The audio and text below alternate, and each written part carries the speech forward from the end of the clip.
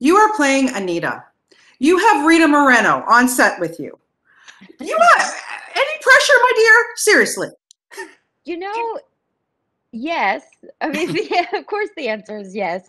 I, but I have to say, Rita is such a a graceful human. As as she is larger than life, as we all know.